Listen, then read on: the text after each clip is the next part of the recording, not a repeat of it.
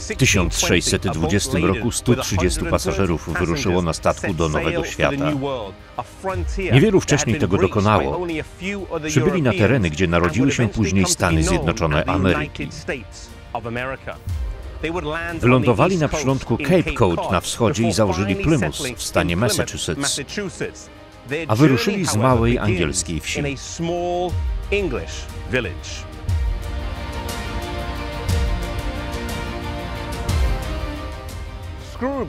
Scrooby leży w hrabstwie Nottinghamshire. Wydaje się cichy i skromny, lecz jego mieszkańcy, którzy ponad 380 lat temu stąd wypłynęli, byli silni w wierze i wiedzieli, czego chcą. Do przywódców tutejszych separatystów należeli pastor Clifton, nauczyciel Robinson i starszy zboru Brewster.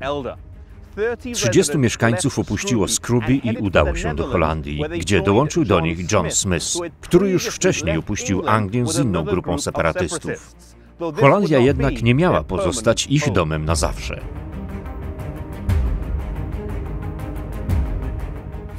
Anglicy, którzy przybyli do Holandii, w wyniku dalszych spotkań postanowili ruszyć do Ameryki. Po angielskiej stronie kanału La Manche niektórym ludziom doskwierały restrykcje religijne ze strony Kościoła. Nie widzieli już tu dla siebie miejsca.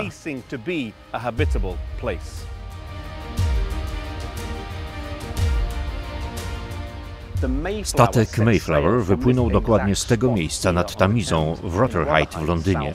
Ten pub o nazwie Mayflower stoi dokładnie w miejscu, skąd 53 osoby wypłynęły do Ameryki. Drugi statek o nazwie Speedwell wyruszył z Holandii, ale 300 km od brzegów Cornwalli musiał z powodu przecieku zawrócić. Osoby ze Speedwell przesiadły się na Mayflower, zwiększając liczbę pasażerów z 53 do 130. 43 osoby na Mayflower należały do separatystów, czyli purytanów, nie uznających mariażu Kościoła z państwem. Nie podobało im się, jak Kościół anglikański traktuje osoby mające inne zdanie w kwestiach wiary.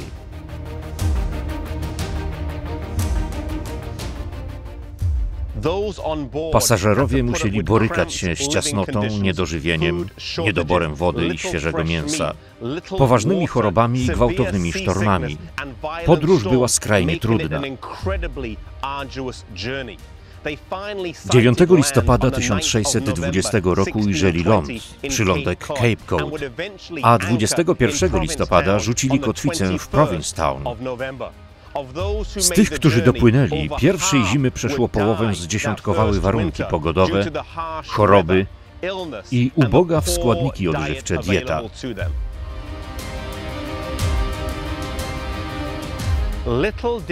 Ludzie ci nie przypuszczali, jaki wpływ ich podróż wywrze na historię i spuściznę, którą po sobie zostawią. Nie wiedzieli, że już za 150 lat kraj, do którego przybyli, wywalczy sobie niepodległość, a za kolejnych 200 lat będzie w czołówce światowych potęg.